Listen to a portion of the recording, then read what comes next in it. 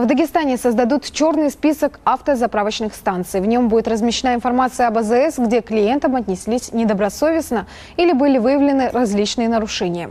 Решение о создании подобного рода книги жалоб было предложено в ходе круглого стола, организованным Народным фронтом республики по итогам мониторинга заправок. Главный акцент хочется сделать на надзорных и контролирующих органов на поверке. То есть мы, Народный фронт, выступаем за то, чтобы нашему потребителю, нашему гражданину доливали именно то количество топлива, за которое он заплатил свои кровные деньги. Вот один из ярких примеров могу привести в городе Буйнакском районе, вернее. АЗС «Сапар». Я могу их перечислять поименно, могу в общем. АЗС «Сапар». Недолив топлива составил более 200 миллилитров. Дагестанские активисты Народного фронта также предложили надзорным органам улучшить контроль за деятельностью АЗС. По их словам, некоторые их обращения о нарушениях остаются без внимания.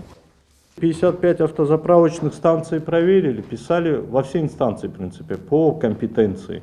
В прокуратуру писали. Всего два ответа. Всего два ответа. Территориальное управление Роспотребнадзора грешат формальностью ответов. Отметим, что фронтовики в течение месяца проводили мониторинг 55 заправочных станций в четырех муниципалитетах Дагестана.